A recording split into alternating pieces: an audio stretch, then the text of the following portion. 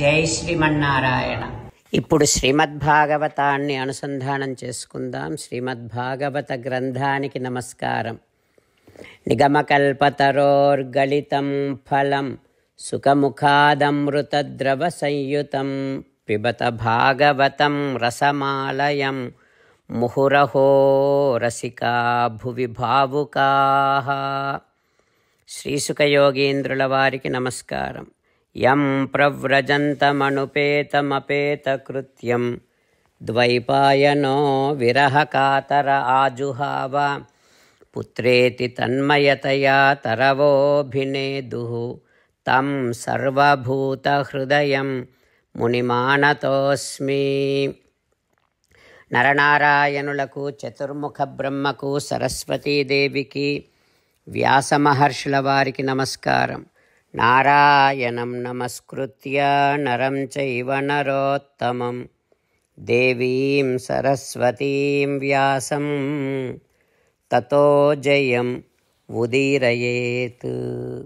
సూత మహర్షుల వారు సౌనకాది మహర్షులందరికీ శ్రీమద్భాగవతాన్ని వినిపిస్తూ ఉన్నారు.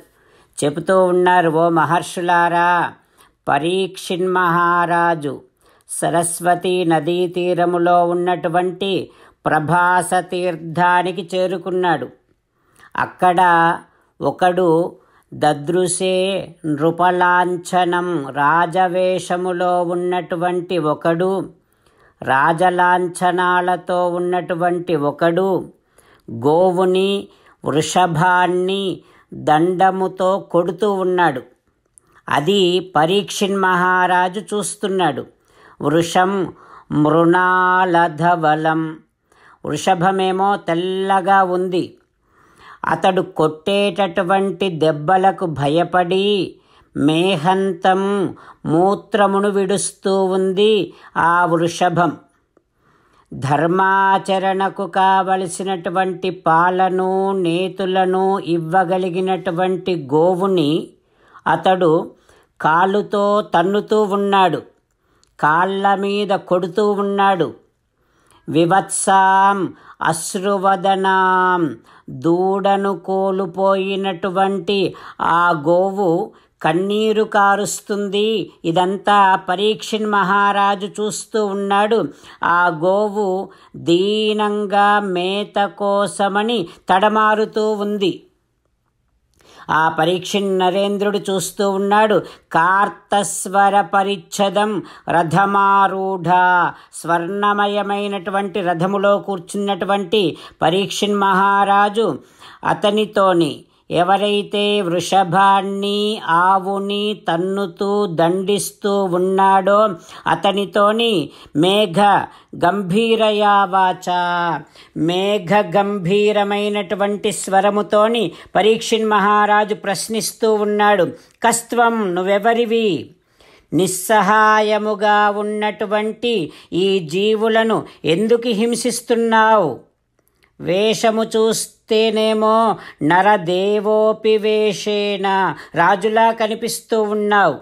కానీ నువ్వు చేసే పనులు ధర్మరహితంగా ఉన్నాయి.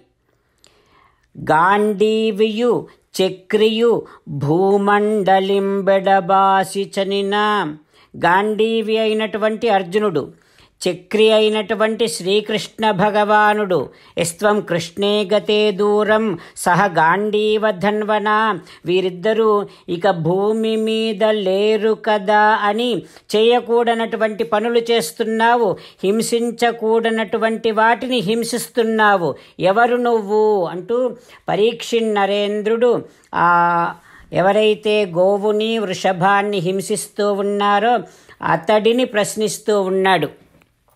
ఆ తర్వాత ఏం జరుగుతుందో రేపు తెలుసుకుందాం.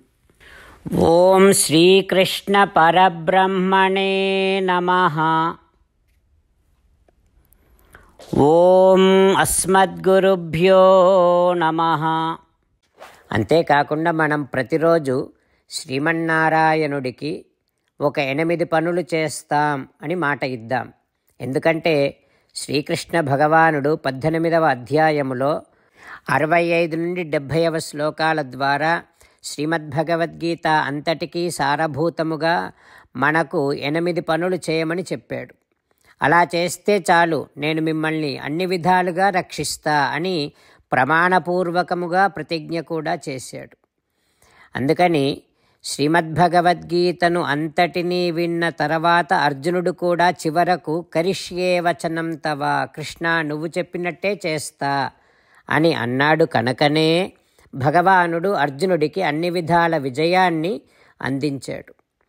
మనం కూడా ప్రతిరోజు శ్రీమన్నారాయణుడికి ఆ రకంగానే మాట ఇద్దాం. ఎనిమిది పనులు చేస్తాం అని మనము మాట ఇస్తే అది అష్టాక్షరీ మహామంత్ర జపము చేసినటువంటి ఫలితాన్ని మనకు ప్రతిరోజు ఇస్తుంది. ఇట్లా మాట ఇవ్వటం కంటే గొప్ప పూజ యజ్ఞము తపస్సు మరొక్కటి లేనే లేదు. అందుకని నేను అంటూ ఉంటాను మీరు మనస్సులో భావిస్తూ ఉండండి. ఈ రకంగా మనము మాట ఇస్తూ ఉంటే శ్రీకృష్ణ భగవానుడి ముఖారవిందములో కలిగేటటువంటి ఆనందాన్ని మనం ప్రతిరోజు దర్శిద్దాం. ఆస్వాదిద్దాం. జై శ్రీమన్నారాయణ. హో శ్రీమన్నారాయణ నువ్వు చెయ్యమన్నట్టే నేను నిన్నే సంతతము ధ్యానము చేస్తూ ఉంటా. హో శ్రీమన్నారాయణ నువ్వు చెప్పినట్టే నేను నీ భక్తుడిగానే ఉంటా. హో శ్రీమన్నారాయణ నువ్వు చెయ్యమన్నట్టే నేను నా విధులను కర్తవ్యాలను నీ సేవగా నీ తృప్తి కోసమనే సక్రమంగా నిర్వర్తిస్తూ ఉంటా. హో శ్రీమన్నారాయణ నువ్వు చెప్పినట్టే నేను నీవాడిని అనే మహావిశ్వాసముతో నీకే నమస్కరిస్తూ ఉంటా. హో శ్రీమన్నారాయణ మామేకం శరణం వ్రజ నన్ను ఒక్కడిని మాత్రమే శరణు వేడుకో అని నువ్వే అన్నావు కనుక నేను నిన్ను ఒక్కడిని మాత్రమే శరణు వేడుకుంటా. హో శ్రీమన్నారాయణ మా శుచహ ఇక దుఃఖించకు అని నువ్వే నాకు భరోసా ఇస్తున్నావు కనుక నేను ఇక దుఃఖించనే దుఃఖించను. హో శ్రీమన్నారాయణ నువ్వు చెప్పినట్టే నువ్వు నా కోసమని అనుగ్రహించినటువంటి శ్రీమద్భగవద్గీతను ప్రతిరోజు కనీసము ఒక్క శ్లోకాన్నైనా జ్ఞాపకం చేసుకుంటూ శ్రీమద్భగవద్గీతను అనుసంధానము చేస్తూ ఉంటా. హో శ్రీమన్నారాయణ నువ్వు చెప్పినట్టే నువ్వందరి కోసమని చెప్పినటువంటి శ్రీమద్భగవద్గీతను తెలియని భక్తులందరికీ తెలియచేసే నా వంతు ప్రయత్నాన్ని నేను నిరంతరము కొనసాగిస్తూనే ఉంటా. హో శ్రీమన్నారాయణ నేను నువ్వు చెప్పినట్టే చేస్తా నీకు నచ్చినట్టే ప్రవర్తిస్తా నీకోసమే పని చేస్తూ ఉంటా.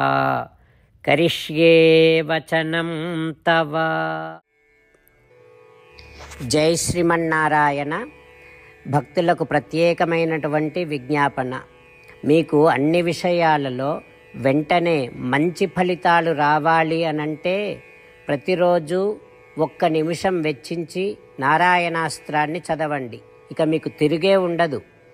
నారాయణాస్త్రాన్ని పొందడానికి మీరేం చేయాలంటే నారాయణాస్త్రం అనే వెబ్సైట్కి వెళ్ళి మీ పేరు మీ ఈమెయిల్ ఇస్తే మీ ఈమెయిల్కి నారాయణాస్త్రం పీడిఎఫ్ వస్తుంది. అందులో ఒక రామాయణ శ్లోకం ఒక గీతా శ్లోకం ఒక విష్ణునామం ఉంటాయి.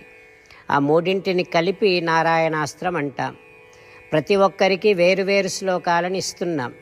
ఆ రకంగా ఎవరి శ్లోకాన్ని వారు ప్రతిరోజు తప్పనిసరిగా చదవటం వలన ప్రతిరోజు ప్రతి ఇరవై నాలుగు వేల భక్తులతో ఒకసారి సంపూర్ణ రామాయణ పారాయణ ముప్పై మూడు సార్లు శ్రీమద్ భగవద్గీత పారాయణ ఇరవై నాలుగు సార్లు శ్రీ విష్ణు సహస్రనామ స్తోత్ర పారాయణ జరుగుతుంది. ప్రతి ఒక్కరికి అంతటి విశేష ఫలితము ప్రతిరోజు లభిస్తుంది. అందుకని మీరు మీ కుటుంబ సభ్యులు అందరూ ఒక్కొక్కరు ఒక్కొక్క నారాయణాస్త్రాన్ని వెంటనే పొందండి. జై శ్రీమన్నారాయణ.